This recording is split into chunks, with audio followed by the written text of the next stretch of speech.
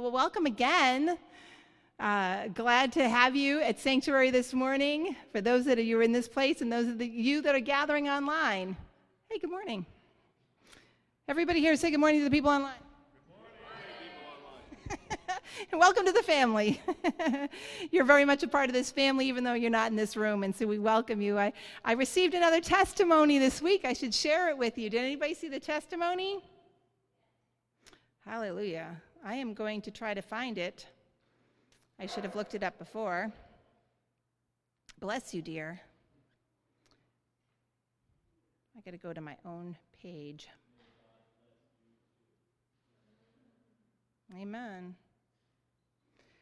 So, it's been a little while since we received one of these, and I'm just so grateful that we got a new one. So, um, Pastor Tim shared this with me Dear Pastor, it amazes me the lives that are impacted from your messages.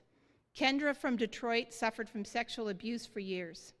She has now surrendered her life to Jesus, and the messages learned from the past have helped her stop the insanity. Oh, and she left her abusive relationship. Blessings. Hallelujah. Uh, you, as the local church here, you help make that possible. So thank you. Thank you for your gifts. Thank you for your diligence in being here. I, I thank once again our, um, our supporter, whoever that might be. And I pray that uh, God is just pouring out abundant blessings upon whoever that might be because of their diligence in serving and making sure the gospel reaches to all the ends of the earth, right? Because then the end will come. That's Jesus' promise.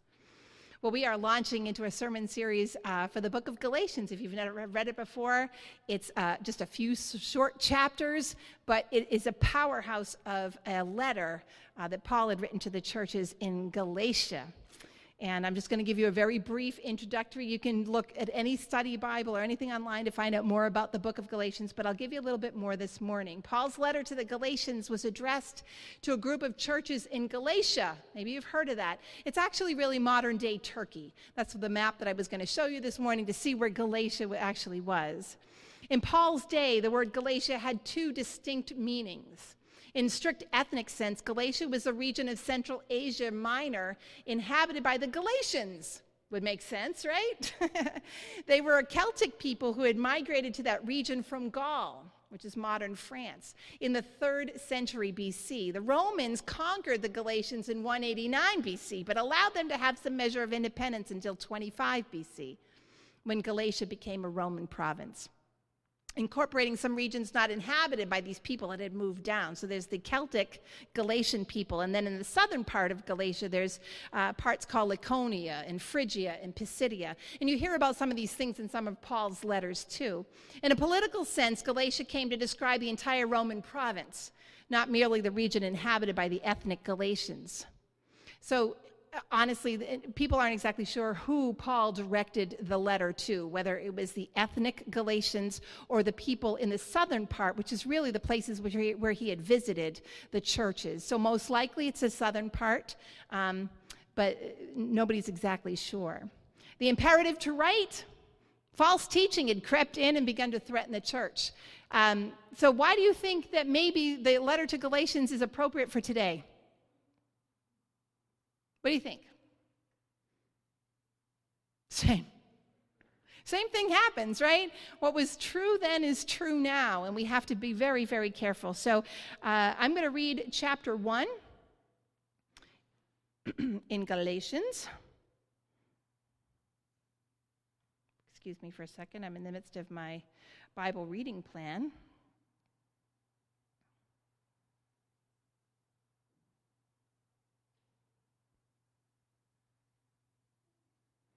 Read. Somebody want to sing the, um, the Jeopardy song while I'm looking this up? you guys might need some lessons right there. Okay, Galatians 1.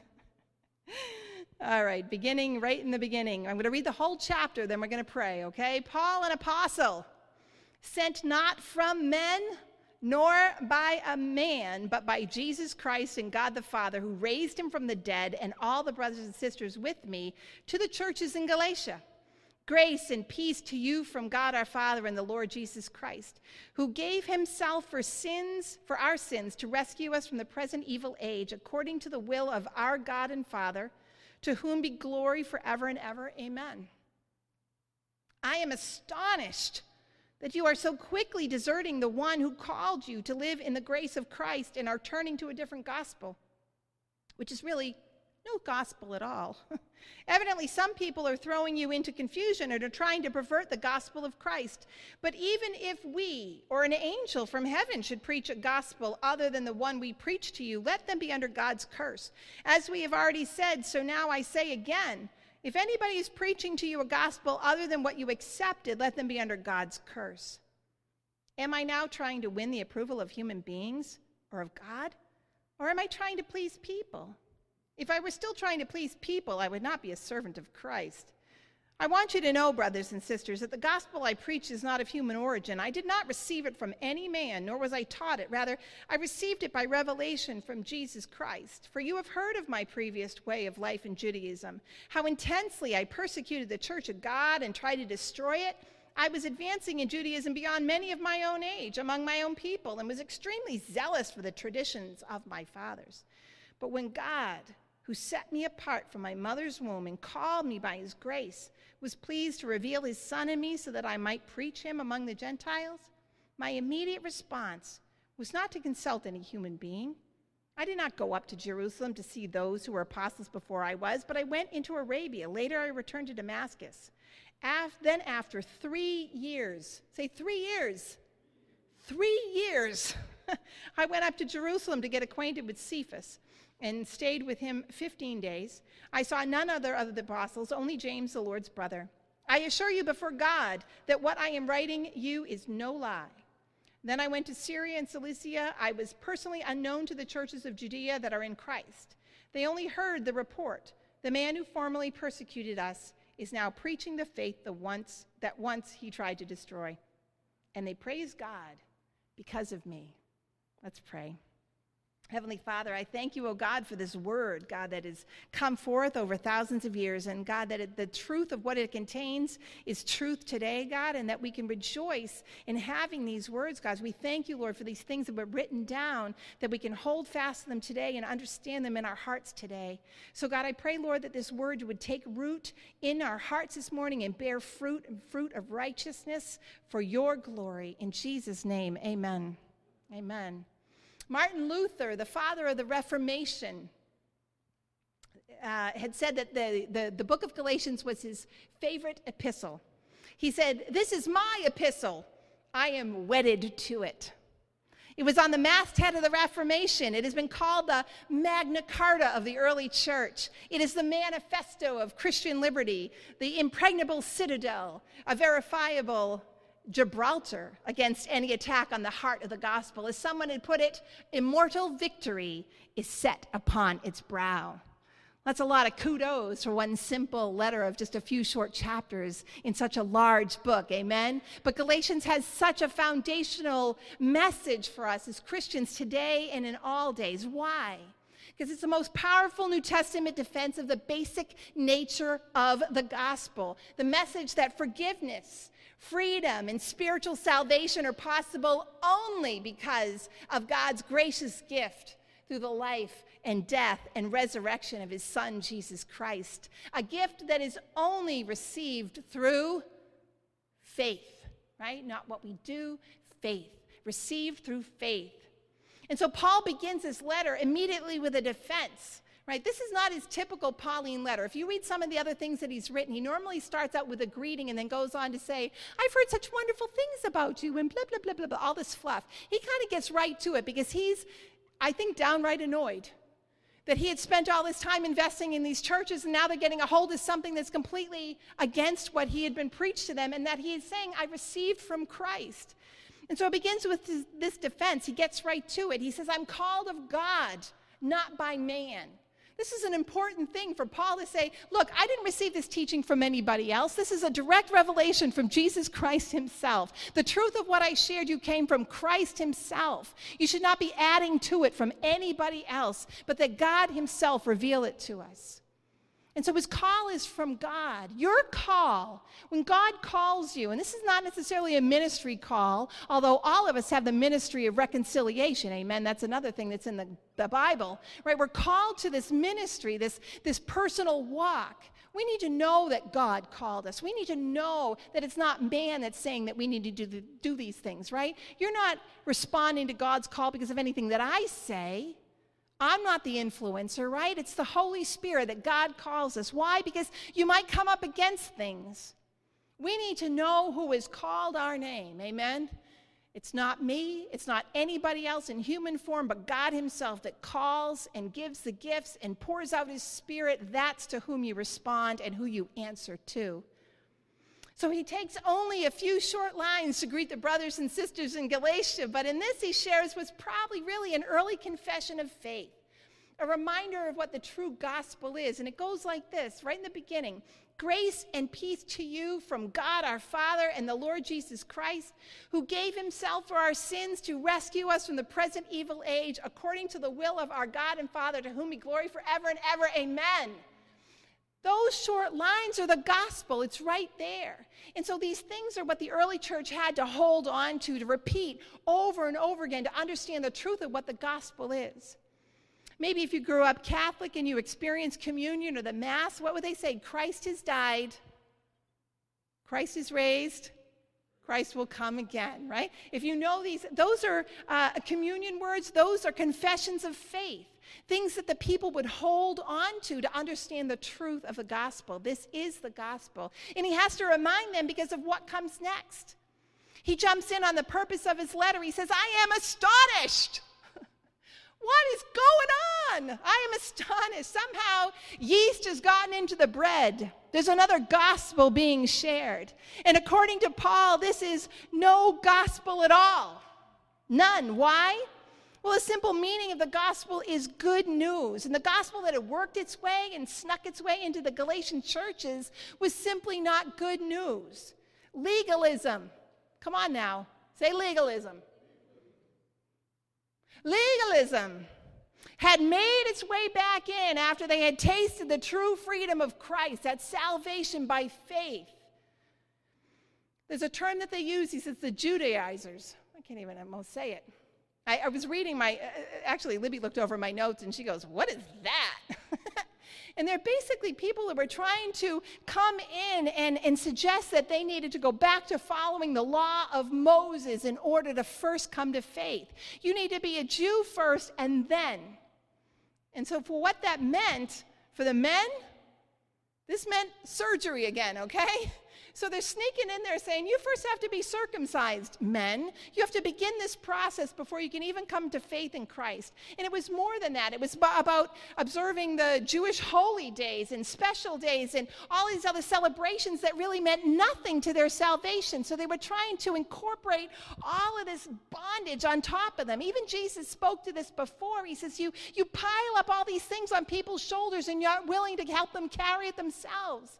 And Paul had even said, I, I, I lived to defend the faith of my fathers, right?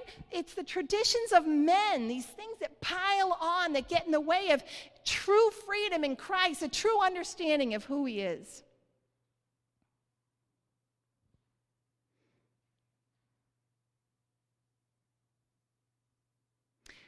Back in um, a couple years ago, we had done the Screwtape letters, and we did a performance of the Screwtape. And if you remember that story at all, if you've ever read the Screwtape Letters, basically it's from the perspective of a, a senior devil and understanding how to get uh, somebody that's not quite a Christian to fall away from the faith. And basically, he talks about all these kind of subtle ways that you can get a hold of somebody. Even the church was one of those things. Oh, get them to church because then they'll think they're okay, even though they might not be understanding true faith in Christ. It says in the scripture that the devil appears as an angel of light. The devil appears as an angel of light. And sometimes, just like this gospel had come in and confused people and looked like the right thing and the true thing, the devil's good at messing things up that way and, and bringing extra things in and, and making us believe that we have to do certain things in order to come to faith in Christ. Even Paul writes in this, he goes, But even if we or an angel from heaven should preach a gospel other than the one we preach to you, let them be under God's curse. See, even the devil appears as an angel of light. Now, Martin Luther, I talked about, who loved the book of Galatians, wrote a whole treatise. Now, there's only a, a, few short chapters, and I think he wrote like 700 pages on the, the book of Galatians. But this is one short passage that he wrote. I'm going to read it to you. He says this when the devil sees that he cannot hurt the cause of the gospel by destructive methods, he does it under the guise of correcting and advancing the cause of the gospel. He would like best of all to persecute us with fire and sword.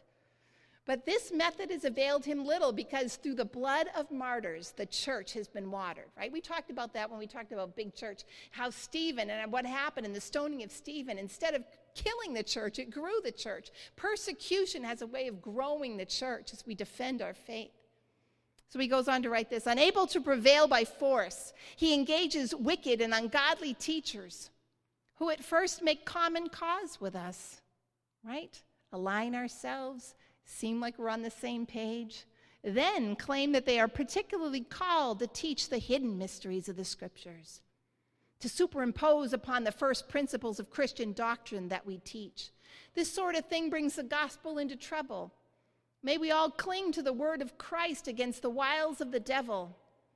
For we wrestle not against flesh and blood, but against principalities, against powers, against the rulers of the darkness of this world, against spiritual wickedness in high places. So you can see, like we said right in the beginning, this has always been an issue. It was in the early church.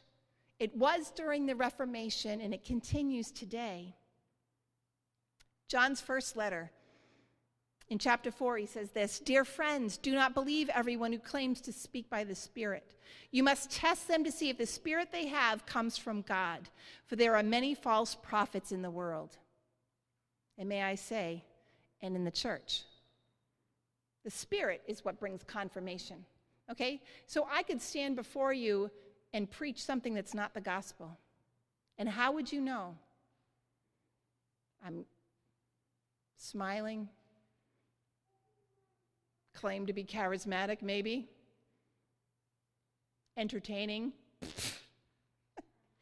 I stand before you as one has developed a relationship and taken the time to know you and gotten close to you. How easy would it be for me to begin to sow a little yeast into the leaven, into the bread. You would trust me, wouldn't you? Sheila's shaking her. but you need to know. You need to know your word. You need to be prayed up. You need to know that what I'm saying is truth.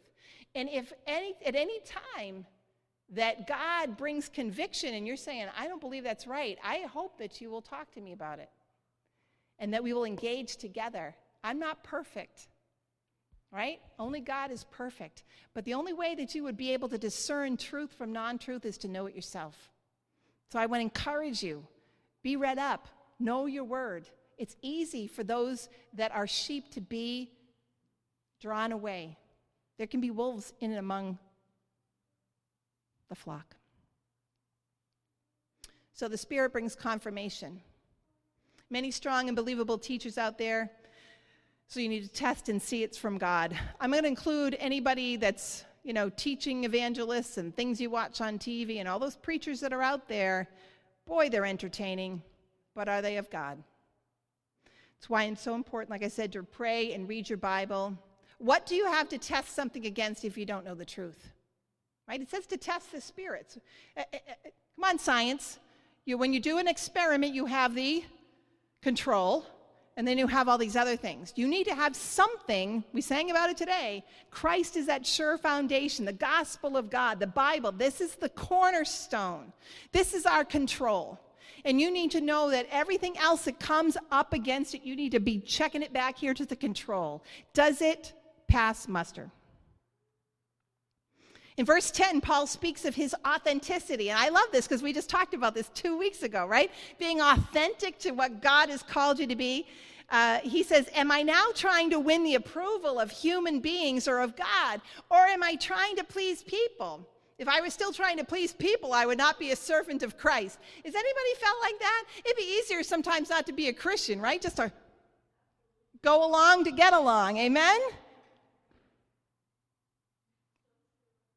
I thought you were to, you had your hand up. Did you want to throw something out there, my sister?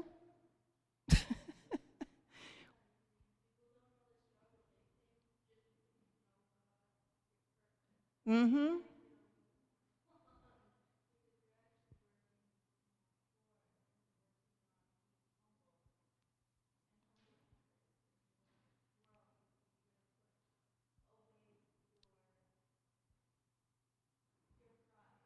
Amen. Yeah. So, uh, if you couldn't hear her, she was saying it's really hard because people think it's easier to be a Christian. But again, you're going against the flow. You are going against the, the, the, the majority of people. And so we want to be authentic, right? If we were going to please people, we wouldn't serve Christ. It would be so much easier just to do what everybody else is doing and have friends all over the place. And that's not what we're called to be. Our goal should be to please God and Him only. Amen? So, the next section of the chapter is his wonderful testimony of a transformed life. Paul now, he's living in the plans and purposes of God, the ultimate plans and purposes of God, not the ones that Paul thought that he was called to.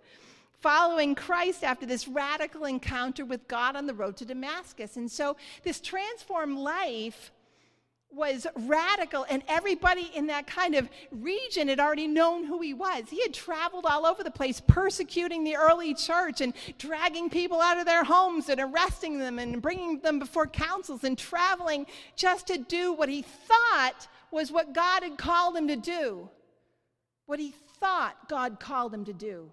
And God had to get a radical encounter with him to change the way that he thought. And sometimes that happens with us. Sometimes we're thinking we're following God and we're doing what God has asked us to do. And yet, then sometimes we need to be knocked off our horse, just the way that he was, blinded by the light, so that we can truly see God's plans and purposes. Because it's so easy, unless we have that foundation, unless we know that we're called, unless we know that we're in his will, it's easy to fall away and believe that we're doing the right thing and, and going after God when we're going after other gods. This, his transformed life spoke for itself. Your transformed life speaks for itself. Amen? The more that you get a hold of God, the more that that's going to preach the gospel. People knew of all of Paul's evil ways, how he sought to please men and mistakenly tried to please God through persecuting the church. As he writes, he says, I was zealous for the traditions of my fathers. His reputation preceded him, and maybe yours precedes you. See, his reputation was negative, and maybe yours is too. But that's not the end of the story. In recovery, we taught a concept of living amends as you, as we live out this life of faith, we can make amends for the sins of our past. Paul certainly made amends for the sins of his past. Amen?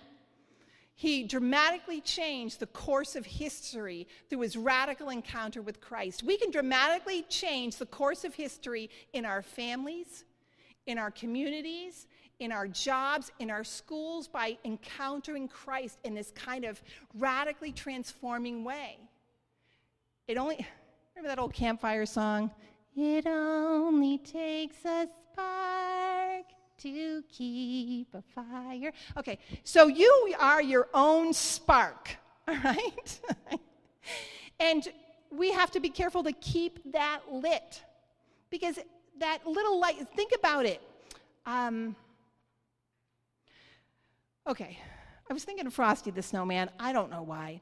But you know, like when. Um, uh, Frosty's going to, um, no, little, the little girl is going to get too, too cold and they want to light a fire.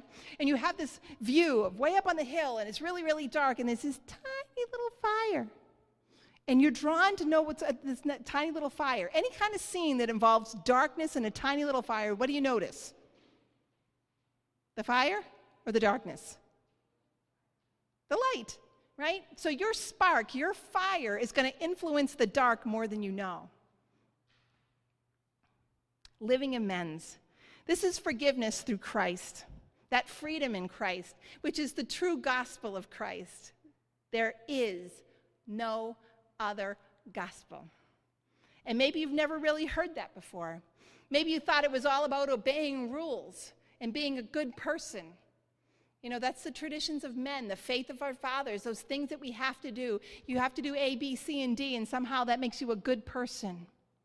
Well, Paul was great at obeying the rules and knowing the law, and yet he needed that encounter with God to get a hold of what the truth really was that faith in Christ. We're saved by faith. And sometimes that's what we need this radical encounter with God, with the Holy Spirit to get a hold of the truth. And as Jesus promised, right, the truth shall set you free. Freedom, freedom, true freedom. Amen. Let's pray. Heavenly Father, God, I just come before you, Lord, knowing that the truth of this word today, God, is freedom in Christ and that there is no other gospel. And Lord, we have come from so many different backgrounds in this place and even those watching online, God, those people that are in the sound of my voice, that Lord, there are so many backgrounds that they have come from, God. And sometimes we have come from backgrounds that, that focus on works and not on faith. And so, God, if there are those now today, Lord, that have gotten uh, beaten down by uh, having to perform, by having to uh, accomplish a certain amount of um, tasks to be done, and, and, and certain amount of prayers, and certain amount of church services to attend, and a certain amount of things, and just ways to pray, and all the things that you have to do to be acceptable by God, I pray, Lord, that they're able to get a hold of the truth of this gospel the gospel of Jesus Christ, that there is freedom in Christ, that there is salvation through faith and faith alone, that not by works, so that we don't have to boast, that it doesn't make us better than anybody else, but that God, you are supreme and that you, you love us, God, abundantly, God, and that you have called in each and every one. And so the great equalizer, God, is just that faith in Christ, not what we've done, not what we can do, but that, God, you've called us to faith first. And so, God, I also pray for those that might be struggling with this faith, that, that might have a, a, a struggle in believing the truth of this gospel. Can it really be that easy? Sometimes, God, we struggle with thinking that it has to be harder. Somehow it has to be harder. That truly this gift of salvation, it's free through faith. It's that simple. And for those that struggle to know that God loves them so much that he gave his one and only Son, that whoever believes in him shall not perish but have everlasting life. God, I pray, Lord, that any. Um, any roadblocks, any stumbling blocks to coming to an understanding of the truth of just that simple verse would be removed. And they would be able to own that today, knowing that the love of God uh, permeates everything and goes so far beyond what we could do, what we could accomplish. We couldn't possibly do anything to achieve that, God, and that's grace. And Lord, no matter what we've done in the past, it doesn't keep us from the love of God, and that's your mercy. I thank you for that, God, this morning. I pray for each and every one, God, that they would be able to hold that and own that for themselves this morning. And that, God, they would release the struggle they've had with works, with trying to do too much, with trying to doubt that they're good enough to receive your love. That God, you've made us in your image, and in so doing, God, we are good enough. Thank you, God. So be with us today, God, as we go forward, Lord, rejoicing in the truth of this gospel that Christ, He lived, he died, he was raised, and he will come again in glory. In Jesus' name, amen. Amen. Be blessed, church.